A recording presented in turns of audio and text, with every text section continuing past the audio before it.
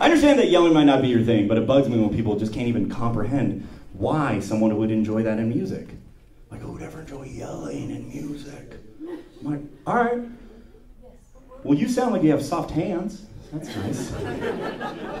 But also, are you telling me you don't recall that kid in kindergarten who used to just run around screaming like a dinosaur all the time?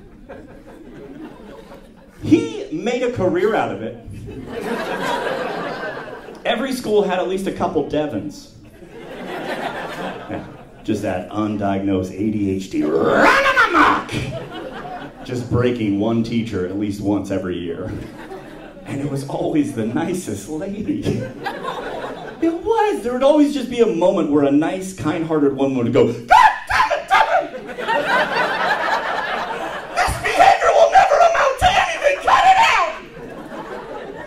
And every time Devin's just like, What did you say?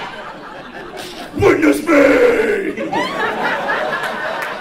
That's his job! He gets to stand on stage screaming like a demon! Because he's still mad at his dad. Yeah! and then a bunch of strangers in a mosh pit run around flailing their limbs every which way, hitting each other, looking like a bunch of pissed off Power Rangers. That's the dream, bruh. So. The longer I do stand-up comedy, the more I realize I did just want to be the funny front man in a metal band. That looks like so much fun. Just be like, yo, this next song is called Dicks Are Just Tails for the Front. One, two, three, four.